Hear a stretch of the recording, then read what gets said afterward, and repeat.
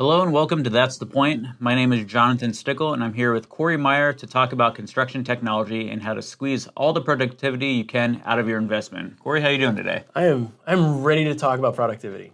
Good stuff. Uh, so today we're going to talk about scanning and specifically importing files from your scanner directly to the tablet. Yeah, that's right, Jonathan. And with the Trimble X series, I mean, to be honest, we're kind of spoiled a little bit.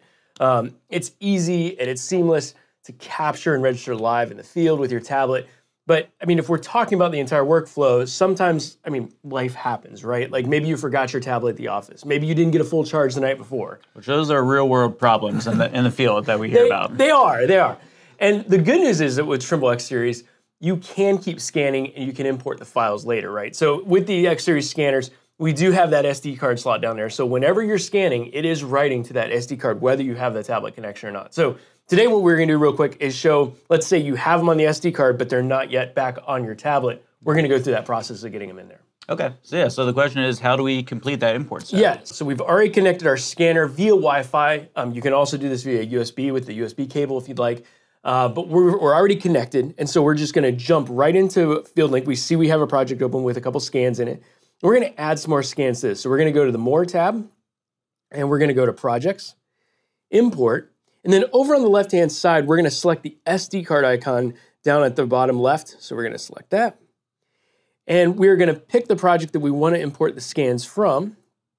And in this case, just for the demo, we're going to take scans three and four. So we're going to select three and four, and we're just going to tap the import, and it's going to bring it into our project.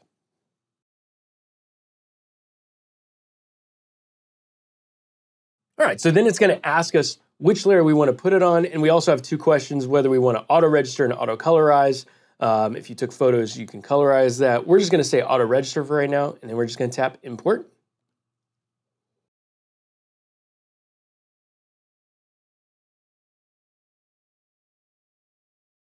All right, and through the magic of editing then, it jumps to, now in this version, it jumps right back out to the map screen, so now we can check our work.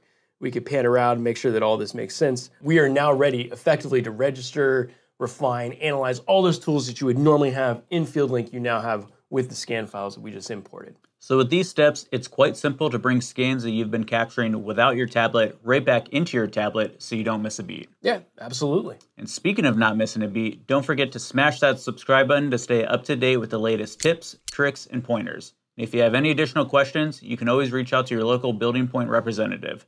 Thanks for watching, and we'll see you next time on That's the Point.